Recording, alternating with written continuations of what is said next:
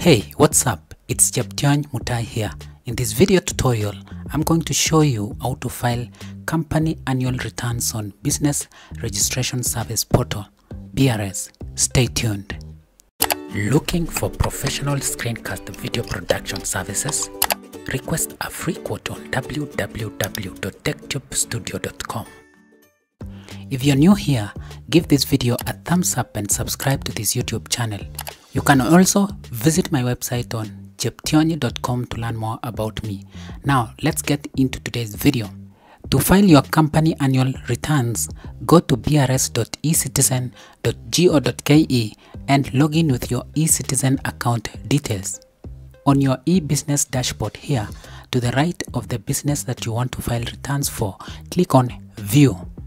On the new window, click on Maintain Company on the top right. This new page will open. On this menu to the left, click on Annual Returns.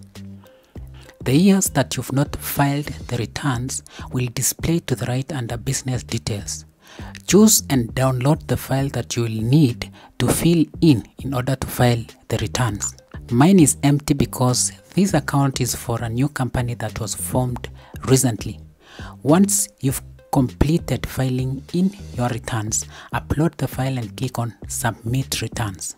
Once you've completed filling in your returns, upload the file and click Submit Returns. And that is it on how to file company annual returns on BRS portal. I hope you found this video helpful. Like it and subscribe to this YouTube channel. Also, take time to visit my website on cheptiony.com to learn more. Until next time, bye bye and take care. Follow me on X at Cheption. Looking for professional screencast video production services?